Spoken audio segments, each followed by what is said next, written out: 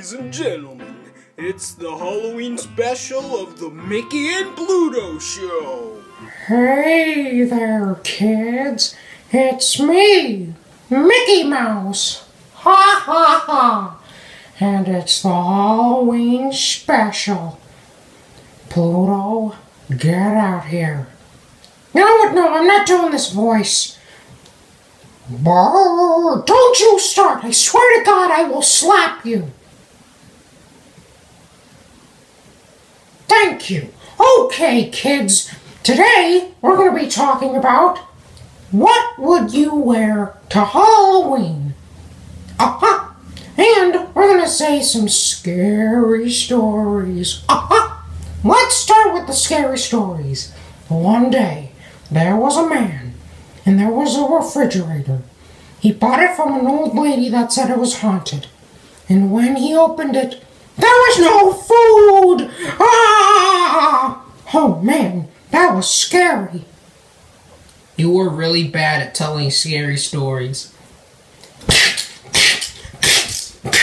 I told you to shut up, idiot. Uh-huh. Here's another scary story. One night, I was walking along, minding my own business. And then I fell. You want to know why I fell? Because my shoes were untied! Ah! Seriously, kill yourself. That's what you get. That's what you get, you idiot. Idiot. I hate that guy. Okay, one more. Uh-huh. One day, Goofy was minding his own business. Then he saw Donald Duck.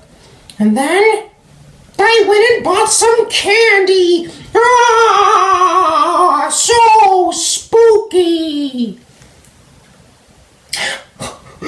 Why? Why do I suck at everything? Oh, God. Oh. Well, since I'm in a, such a good mood, I think I'm going to tell one freaking more story. Please don't. I'm going to kill you. Okay. One night, there was a man, and you want to know what happened? His car broke down, and so he had to call a person to pick him up.